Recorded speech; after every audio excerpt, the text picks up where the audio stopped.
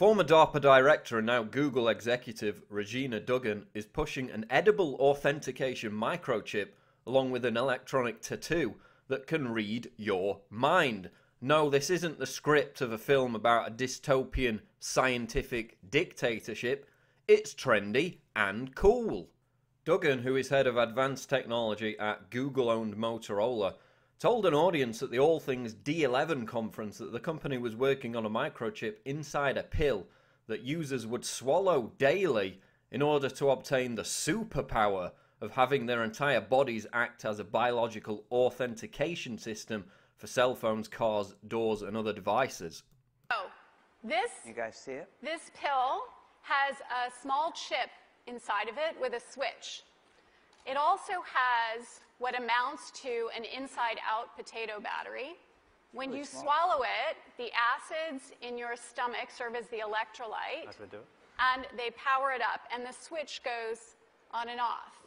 And it creates an 18 bit ECG like signal in your body, and essentially your entire body becomes your authentication token.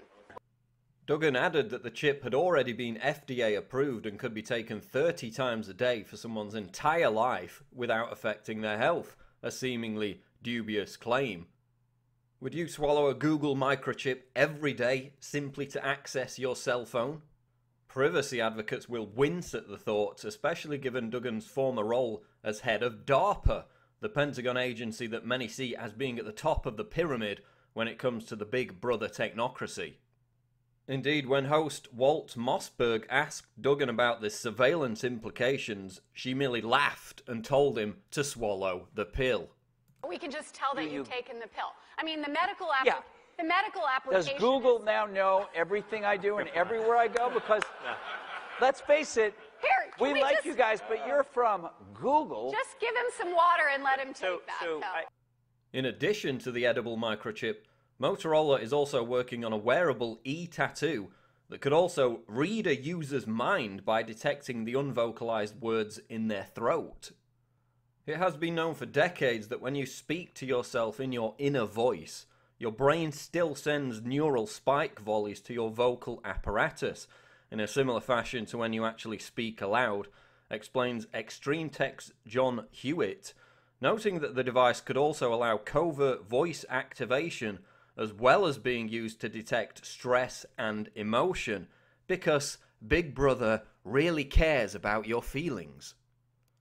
During the D11 conference, Dugan even predicted that if the e tattoo was made to look cool with different artistic designs, young people will want to have it fused to their skin as an act of rebellion against their parents. It may be true that 10 to 20 year olds don't want to wear a watch on their wrist, but you can be sure that they'll be far more interested in wearing an electronic tattoo, if only to piss off their parents.